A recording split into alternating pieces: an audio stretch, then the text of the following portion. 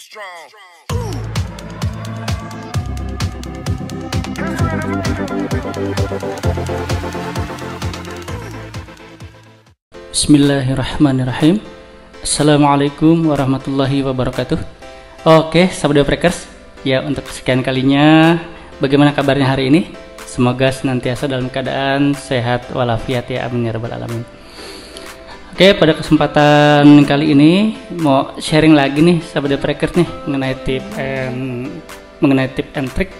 Ya kali ini mudah-mudahan uh, bisa diikuti dengan baik ya. Nah untuk tips kali ini atau trik kali ini yaitu uh, kita akan mencoba mengubah subtitle ya subtitle dari bahasa asing ya. Umumnya sih bahasa Inggris. Kita coba terjemahkan menjadi bahasa Indonesia ya. Kenapa karena terkadang ketika kita mendownload dari internet sebuah film ke subtitlenya ada yang sudah diterjemahkan menjadi bahasa Indonesia ada juga yang belum masih bahasa aslinya. Nah tips inilah dengan niatan tersebut dibuat. Ya mudah-mudahan e, bermanfaat buat sahabat Deparkers ya. Amin ya rabbal alamin. Oke langsung saja. Untuk kali ini saya tidak ngopi dulu ya karena sudah malam juga dan sudah habis tadi kopinya. Oke untuk langkah selanjutnya langsung saja kita menuju monitor. Let's go. Oke bismillahirrahmanirrahim. Langsung saja untuk tipsnya atau triknya langsung kita buat. Pertama-tama kita akan cek video ya atau film. Ya saya sudah coba di sini yang sudah ada subtitle atau closed caption ya. Judulnya dalam bahasa Inggris kalau nggak salah. Coba saya cari di video. Tadi saya sudah copy ya ini ada contoh film Jepang ya tentang anak muda yang mau jadi polisi kita coba cek 物語は自由も恋も禁止の絶対服従の警察学校に Oke, ini masih dalam bahasa Inggris ya terjemahannya. 愛と勇 Bisa 気 kita に lihat. 溢れた10ヶ月間の戦いの記録である Oke ya. Langsung saja kita coba terjemahkan menjadi bahasa Indonesia. Ya, sebenarnya diterjemahkan manual atau dengan cara yang berbeda itu juga boleh. Tapi ini kita menggunakan eh, website ya. Mudah-mudahan teknik ini atau trik ini lebih cepat. Ya, sehingga jika kita ingin menerjemahkan film lebih dari satu buah itu mempermudah juga, jadi efisien. Nah, saya menggunakan browser ya, masih menggunakan Opera. Silakan diketikkan saja di Google searchingnya namanya Syed G. Nah ini, sahabat Deprekers ya, Syed G Akbar. Kita coba klik. Ya, silakan pilih yang paling atas yang pertama ini, subtitle translator. Oke, nah ini tampilannya ya, sahabat Breakers ya. Nah pada saat eh, video ini dibuat tampilan seperti ini. Tapi ada kemungkinan suatu saat akan berubah. Kenapa? Karena biasanya website itu sifatnya dinamis. Ya jika ada perbaikan, terkadang layout ya atau user interface-nya juga suka diubah oleh sang pemilik website. Nah langsung saja, ini adalah subtitle dalam format SRT biasanya ya, tuh SRT. Nah, kemudian di sini kita coba drop filenya to upload. Bisa juga diklik. Ya, kita coba klik pada breakers. Ya, kita cari filenya. Tadi di nah ini banyak tuh ya yang belum saya terjemahkan. Saya baru terjemahkan tiga. Ya. Cari di video. Nah, ini.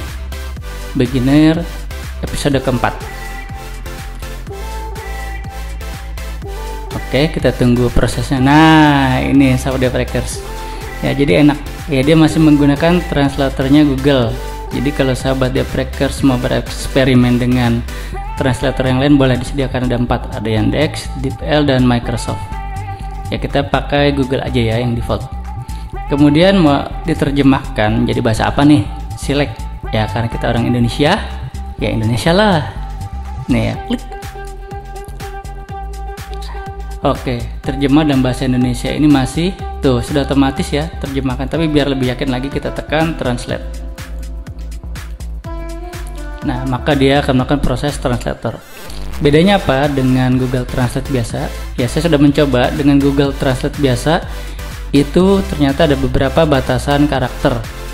Ya, sehingga untuk film yang durasinya panjang mungkin ya sekitar satu jam itu ada beberapa bagian yang tidak bisa diterjemahkan sehingga kepotong. Nah kalau ini menggunakan ini insya Allah bisa ya. Ini sampai panjang baris sekitar 500 ya, 556 557 itu sudah berubah. Ya. Nah kalau sudah ini sangat mudah sekali sahabat Breakers ya saudaraku. Tinggal tekan save as saja oke nah tetap di video. Boleh menggunakan nama yang sama atau nama yang berbeda. Nah biar lebih yakin saya bedakan saja. Nanti file filmnya juga saya bedakan. Misalkan beginner 04 ya artinya film atau yang keempat. Oke udah. Begini aja nih sahabat breakers. Ya sudah jadi. Mudah kan ya insyaallah kita coba lihat hasilnya Nah ini B4 filmnya juga kita ubah ya untuk mempermudah. Biasanya saya menyamakan antara subtitle dengan judul filmnya. Ya kita coba. Push beginner episode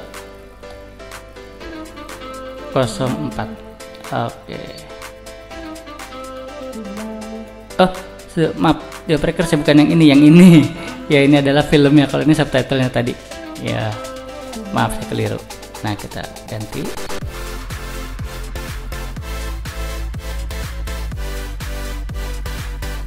Nah ini filmnya ya. Ini dihapus deh nggak apa-apa biar nggak mengacaukan. Kalau sudah kita tes. Bismillahirrahmanirrahim. Check it out の物語は自由も恋も禁止の絶対服従の警察学校に最強最悪の落ちこぼれたちが挑んだ愛と勇気にあふれた10ヶ月間の戦いの記録である Oke, kita coba percepat apakah berpengaruh dengan timeline yang lainnya. バカになれるやつが勝つんだよお前もともとバカだろうっせえ結局バカが勝つんだよ lanjut.